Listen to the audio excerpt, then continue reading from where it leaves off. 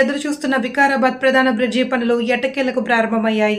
గత ప్రభుత్వ హయాంలో వికారాబాద్ హైదరాబాద్ రోడ్డును కలిపి ఉన్న ఏకైక బ్రిడ్జి స్థానంలో కొత్త బ్రిడ్జి నిర్మించుకునేందుకు తొంభై ఆరు కోట్లు మంజూరు చేసింది. అయితే ఎన్నికలు రావడంతో ఆ పనులు ప్రారంభం కాకుండానే ఆగిపోయాయి. గతంలో చంద్రబాబు నాయుడు హయాంలో మట్టితో బ్రిడ్జిని నిర్మించగా అది ఇప్పుడు కుంగిపోతూ ప్రయాణికులకు ఇబ్బందిగా మారింది.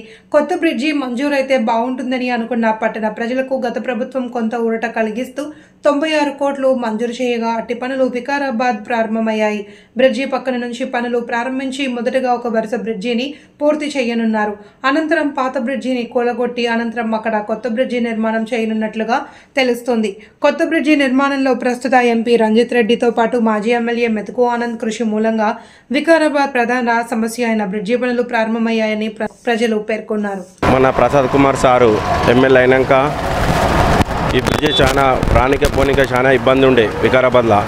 ఎంతోమంది యువకులు చనిపోయారు కింద పడి యాక్సిడెంట్ వలన.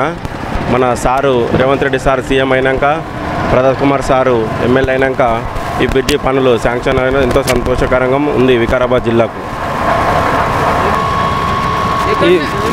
ఏం పేరు నీ పేరు? మాణిక్య ప్రభు ఎక్కడ ఉంటారు మీరు? వికారాబాద్. బ్రిడ్జి కోసము ఇబ్బంది పడుతున్నాము. ఇప్పుడు వర్క్ స్టార్ట్ అయింది దాని వర్క్ ఇప్పుడు అప్పటికు చాలా యాక్సిడెంట్లు అయ్యాయి. ఎంతో కాలంగా పెద్ద పెద్ద యాక్సిడెంట్లు అయ్యాయి. కూల లారీలు పడ్డాయి. ఇప్పుడు ఇది శాంక్షన్ అయిన సంది జర అందరికీ అనుభవం మంచిగా అనిపిస్తుంది. పాత ప్రభుత్వం ఏమంతా పట్టించుకోలేకపోయింది.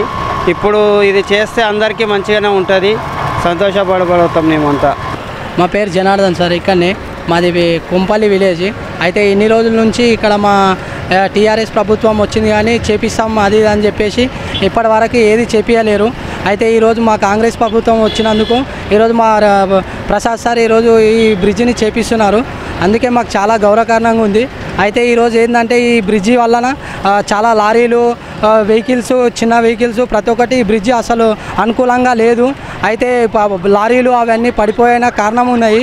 అయితే అవన్నిటికీ ఈరోజు మా ప్రసాద్ సార్ మొత్తం అనుకూలంగా అన్ని అన్ని లెక్కల అన్ని విధాలుగా చూసుకొని మా ప్రసాద్ సార్ ఇన్కమ్ ముంగల అన్నీ ఉండేసి ఈరోజు మా బ్రిడ్జిని తొ- తొందరగా ప్రారంభం చేసిండ్రు. అందుకే మాకు చాలా గౌరవకారణంగా ఉంది. అయితే మేము ఈరోజు మాట్లాడేది ఏంటంటే ఈరోజు మేము తిరిగేది ట్వంటీ ఫోర్ అవర్స్ ఇక్కడనే. అయితే ఈ ఈ- ఈ మధ్యన మేము చూసినట్లు మొన్ననే నిన్న కాక మొన్ననే ఇక్కడనే యాక్సిడెంట్ బైక్ యాక్సిడెంట్ అట్లా అట్లా అయిపోయినాయి. అయితే అందుకే మా సారు ఏం చేసిందంటే ఈరోజు మన ప్రభుత్వం నుంచి కాంగ్రెస్ ప్రభుత్వం వచ్చినందుకు ఈరోజు మా సారు బ్రిడ్జి తొందరగా ప్రాబ్లం బ్రిడ్జి వేపిద్దామని చెప్పి టీఆర్ఎస్ గవర్నమెంట్ ఉన్నప్పుడే శాంక్షన్ అయింది కదా. ఆ, మళ్ళీ ఆ, మా అయితే శాంక్షన్ అయింది కానీ చేపించలేరు. అయితే ఇప్పుడు మా కాంగ్రెస్ ప్రభుత్వం వచ్చినాక మా రేవంత్ సార్ ఈ దీనికి అమౌంట్ బడ్జెట్ శాంక్షన్ చేపించి ఈరోజు మా కాంగ్రెస్ ప్రభుత్వం నుంచి ఈరోజు మా బ్రిడ్జ్ అవుతుందని చెప్పి మేము అనుకుంటున్నాము. అయితే ఈరోజు మాకు ఈ బ్రిడ్జ్ అవుతున్నందుకు చాలా గౌరవకారణంగానే ఉంది. చాలా వికారాబాద్ మొత్తం ఈ పబ్లిక్కి మొత్తం చాలా రుణపడి ఉంటారు సార్కి. నా పేరు రాఘవేందర్. నేను- పోలీస్ కాలనీలో ఉంటా. ఇప్పుడు వికారాబాద్ చాలా రోజుల నుంచి బ్రిడ్జి కోసం చూసింది. ఇప్పుడు బ్రిడ్జి పనులు అనేవి స్టార్ట్ అయింది దీని పట్ల మీ అభిప్రాయం మీకు ఏమట్లా అనిపిస్తుంది? ఈ బ్రిడ్జి స్టార్ట్ అయినందుకు చాలా ఆనందంగా ఉంది. ఎందుకంటే ఈ బ్రిడ్జి ఇట్లా శిబిల అవస్థలో ఉన్నందుకు చాలా ఇక్కడ యాక్సిడెంట్లు కానీ అవన్నీ చాలా అవుతుండే. ఇది పూర్తి స్థాయిలో మంచిగా కావాలని మేము కోరుకుంటున్నాం అంతా. టీఆర్ఎస్ గవర్నమెంట్లో శాంక్షన్ అయింది. ఇప్పుడు కాంగ్రెస్ గవర్నమెంట్లో కూడా వర్క్ నడుస్తున్నది మీరేమంటారు? ఏ గవర్నమెంట్ ఉండండి కానీ మనకు పని పనులు అనేటివి సవ్యంగా జరగాలి. ఏదైనా పర్ఫెక్ట్ ఉండే పబ్లిక్ ఏం కావాలి అది పర్ఫెక్ట్గా కావాలి. వికారాబాద్కి బ్రిడ్జి చాలా ముఖ్యము. ఈ బ్రిడ్జి పనులు నడుస్తున్నాయి. బ్రిడ్జి పనులు తొందరగా అయితే మన వికారాబాద్ అభివృద్ధి అనేది ఆ వికారాల అభివృద్ధి అనేది చాలా జరుగుతుంది.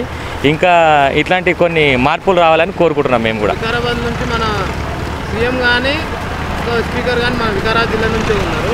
ఆ. దాని మీద మీరేమంటారు? ఏమో ఇంకో మన ఇంకా ఇంకా ఏమన్నా జిల్లాను అభి ఇంకా పెద్ద ఎత్తున ఇంకా మంచిగా చేస్- చేయగలుగుతాడని అనుకుంటున్నాం మేము. ఇప్పుడు రేవంత్ రెడ్డి కూడా ఉండు కదా. ఇప్పుడు ఆయన ఉన్నందుకు కూడా మంచిగా అయితే అని అనుకుంటున్నాం.